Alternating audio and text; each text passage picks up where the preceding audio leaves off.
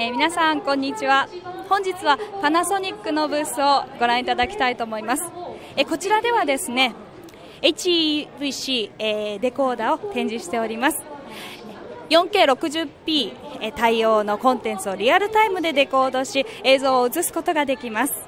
こちらではですね実際にモニターを2つご用意しておりまして1つは通常の放送で使用している40メガ BPS で圧縮した画像とでもう1つはお隣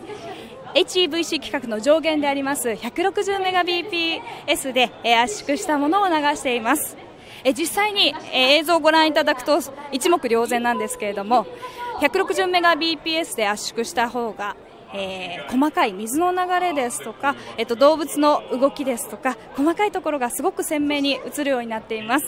えー、あとは PCI エクスプレス機能を搭載しておりまして、えー、パソコンの HEVC アクセラレーターとして使っていただくこともできます、えー、ぜひ現場で、え、ご覧になってください。